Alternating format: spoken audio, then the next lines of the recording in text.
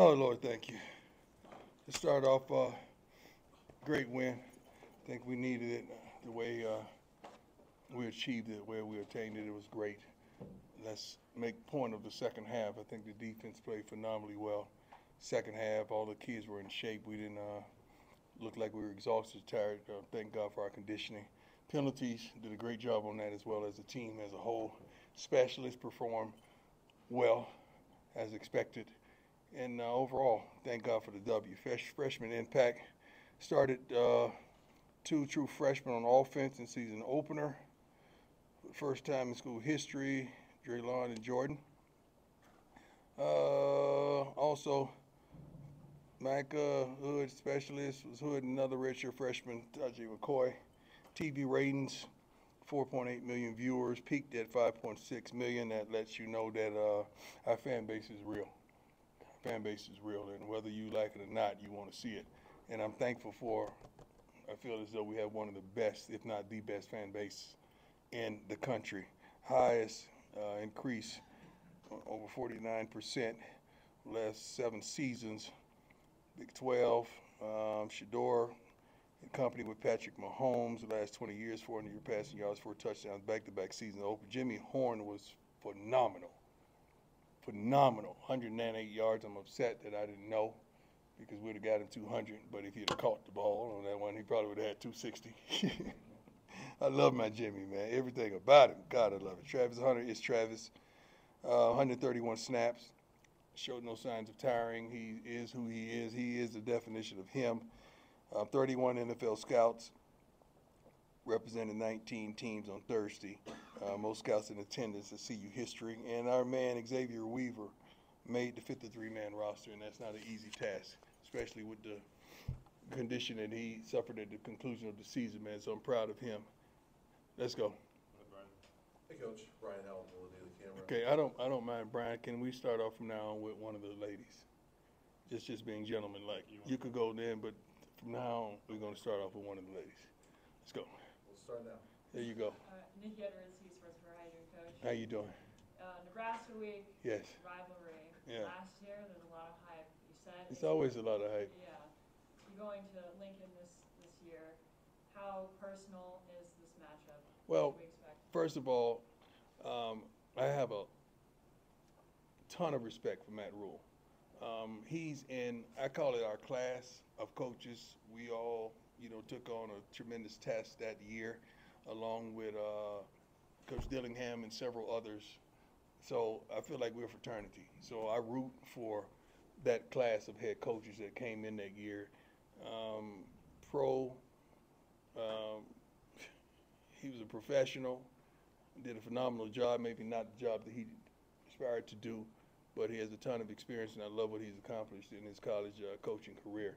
So I look for them to be physically tough and posing. Uh, try to run the football. They have a freshman quarterback that had a pretty good day last week, but we got to do what we do. We got to go in there and do what we're capable of doing. And I think we showed the glimpses of that in the second half of our first game against a formidable opponent. Hey, Coach. Uh, so a lot of times coaches will say that the most improvements made from that first game to second game. Uh, curious if you believe that first off? I, I don't know who said that. Okay. A lot of coaches say that, but, Uh, who? It is written? It is written. yes. It's I don't know where that said. I don't know where. But anyway, my question would be, that as you watch the film of of this Mm-hmm. last week, what are some of the biggest things that this team needs to improve upon from last week? Well, I think we improved upon in the second half. I think we corrected a lot of things in the second half. We were able to contain the run a lot better, uh, play solid gap control. Chidozie did a phenomenal job up front. Linebackers got to the point of contact and they made the plays. And I think the secondary is pretty darn good. We just got to uh, not give up short and short passes that we, we, we just got to be a lot more physical, a lot more on point and understand uh, down and distance. Hey, Coach, I noticed you brought the whole team to the Stampede on Friday night and then had Yeah. the whole team on the sideline, or I guess on Wednesday, and then the whole team on the sideline on Mhm. Thursday. What, what was the thought process behind that? I wanted to bless them. The whole team has been doing a phenomenal job of preparing one another. All for one, one for all. I, I love them. The walk-ons, the you know the, guys that the the OBs, the original buffs.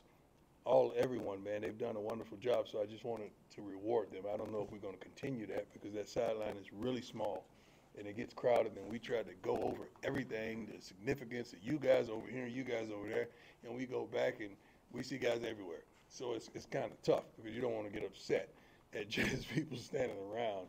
You, you really want them to use them in some capacity, but it's tough when you have a short sideline like that. But I wanted to bless them. They deserved it. There she go. Taylor SI. When it comes to um, games, we get to see that physical toughness, but when it comes to that mental toughness, like what are we not seeing in practice and in those games? Um, well, we always start off with a morning message that kind of directs their path to where they should go. It could come from another team or what transpired. And it's a lot of situations that Coach Pollock um, places up on the big screen to let us know what happens if this. If we block a punt and it goes past the line of scrimmage, we want to prepare our guys in all aspects of the game. But the mental part of it, we may stop practice right in the middle, middle and put them on the line and condition them and try to fatigue them a little bit to see how they respond then right after they're fatiguing. So it's a lot of things that could occur in a game. Sudden changes. Now you just throw the offense or the defense out there. We prepare our butts off for anything that could possibly happen um, in the midst of a game. Troy, go ahead. Hey, Coach, how are you? How you doing, sir? Good. Troy Finnegan, CU Sports Report. I've got two for you. First, Dylan Raiola is making his second start. Does Yeah. playing an inexperienced quarterback change the way that you want to kind of attack? Um, you you you attack weakness, weaknesses. Uh, I don't know if you attack inexperience. If that's a weakness, so be it. But the kid made some darn good throws, some pretty good plays. Um, they did some consistent things that we knew they would do uh, within their offense. A phenomenal game. I mean, it started out, you know, back and forth a little bit, but they went ahead and, and did what they needed to do. But I, I love what he showed um, in his first college game ever. I love what he showed. And then my second one, are you doing anything special in practice this week to prepare for the atmosphere, the crowd? Yeah, yeah, we started that today. Most definitely. Great question. John. Hey, Coach, John Treach, KUSA. How you doing, sir? Doing well. Beyond your game plan, how much do you appreciate, how much this means to the fan bases, not just now, but for generations, this rivalry? I can't speak for generations, my man. I'm just happy and thankful that we are here right now. And we're going to dominate the day as best as we can. But it's been things passed along and passed down from older generations to now that uh, the governor um, got up in the meeting today and he took the floor and he allowed us to know some things about this rivalry and some things that should impact us uh, just passionately about this rivalry. Um, I'm pretty sure you're not going to see anybody on the team wearing red anywhere this week because he politely uh, allowed us to know that's a no-no. So I- love it. Uh, I think that's what college football is all about, whether we're in the same conferences or not. But this is a tremendous rivalry, and I look forward to it. Jason, go ahead. Hey, Coach. Uh, Jason Jones, Sports Illustrated. Just picked up on something that I'd love to give you a chance to comment on. Give me a Uh, chance to comment on. Here, here comes the big one. Yeah, no, no, this, you'll like this. Okay. Uh, going from last year to this year, Yes, it sir. seems like, starting with the offensive line, Yes, sir. And now recently seeing Shedeur and Travis kind of go at it. Uh, Go at it. Which way?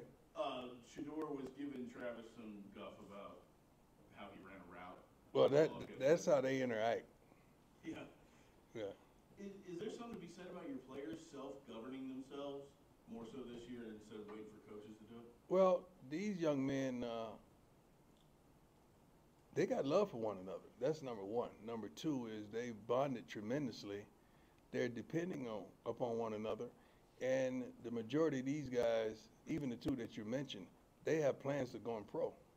So they really want to take it up a notch, and they're going to really hold each other accountable. Um, it's a lot more goes on than that in the huddle and on the sideline. So it, it's phenomenal. But they they're at each other all the time, those two, and they have this uh, silent chemistry. And it started way back in Jackson that that you could. Uh, the last game that we played on the last drive, it barely was any play call. It was just signals between those two, and they put on a show. Hi, Coach Ryan Schools from Ralph Report. So, I mean, the offensive line played pretty well on Thursday. Only allowed one sack, and I'm mm-hmm. sure you've gotten a chance to go back, watch the tape. Right. What are you seeing from that group, and should we expect that same level of play?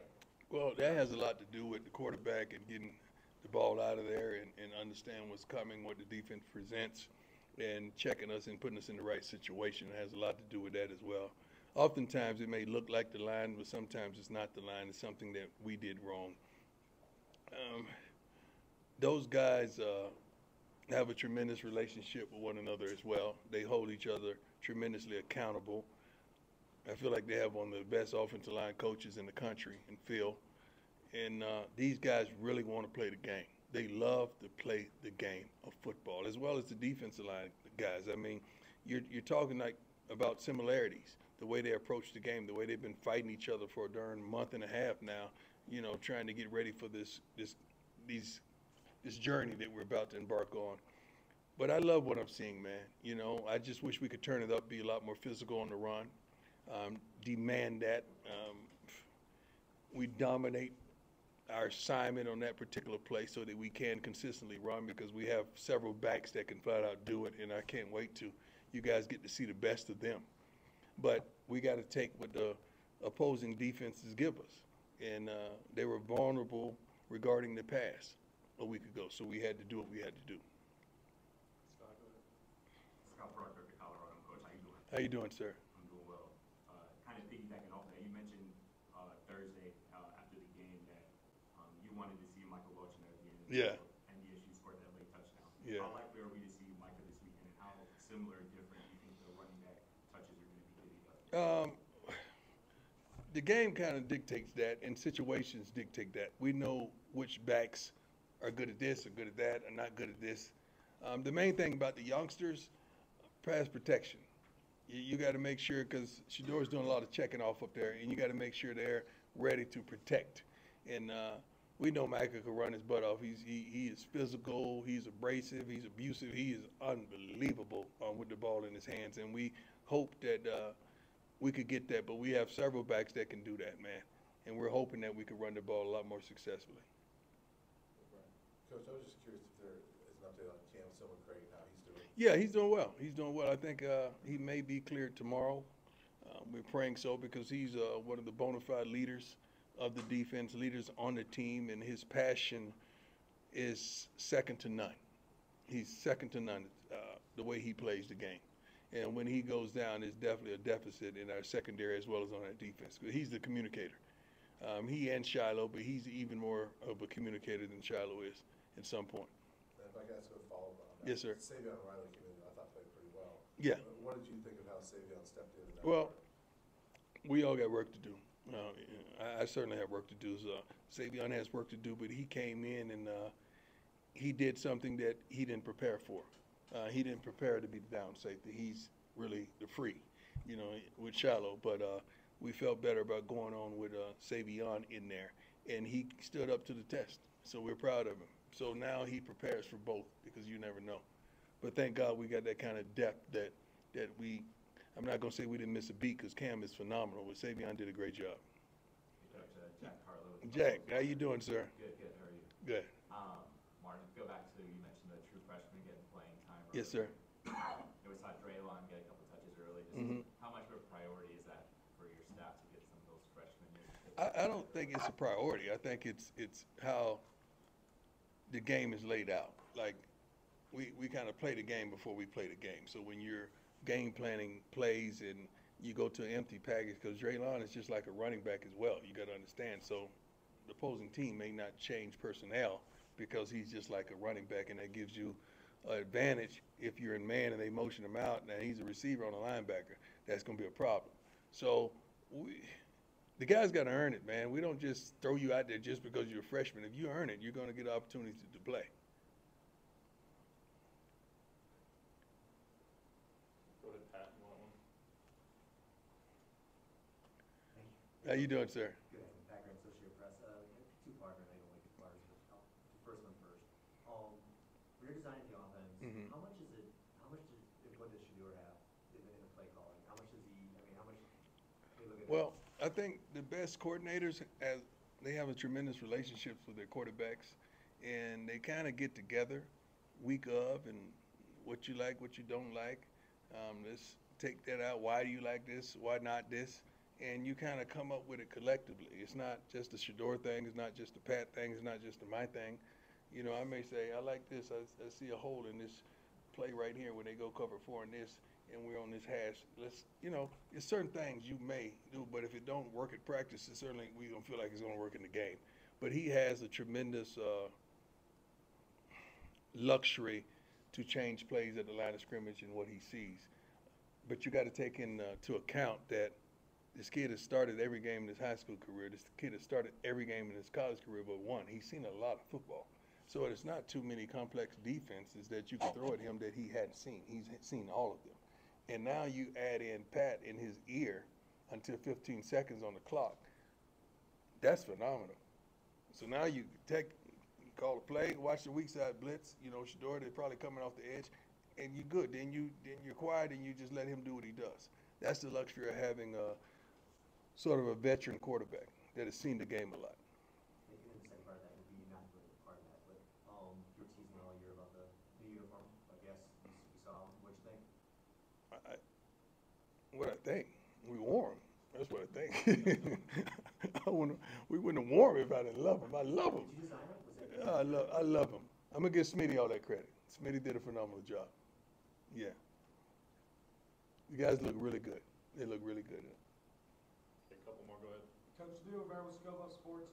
Um, after the game, what was it like with your coaching staff? You mentioned a lot about them and how much they help you out. Yeah. We understand the relationship with the coaches. Yes. What did they take away from that game? Um, they're excited. You got to understand, uh, quite a few of them. This was their first time in the college game, so they had never been on the sidelines coaching in a college game. They've been in the NFL, so it was phenomenal for them.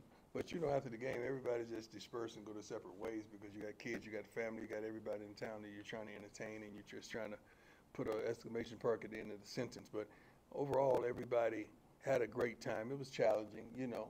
You got to believe what you see and sometimes you want so much for these kids and they may not do what you want them to do but you got to believe what you see and uh, go with it go with what you saw so it won't uh, damage us in the long run but overall we're excited about especially what they did in the second half Go ahead, Matt, last one. Hey, Coach, you spend all winter, all spring, all summer building the team.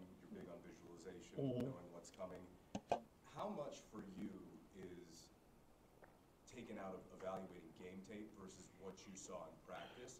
And did anything Well, surprise both. you here? Oh, great questions. Great, great questions. Normally, what you see in practice is what you're going to see in the game. It's very rarely do a kid practice like garbage and get opportunity to play like garbage in the game. Or we, we, it's up to us. We can't put them in that situation. We have to put these kids in a situation to succeed. That, that what constitutes a really good coach. And we're trying our best. Um, we got a lot of talent. We feel we have guys that are very versatile. We just got to make sure they're in their capacity that they could be successful, and we can't put them out there in any other capacity.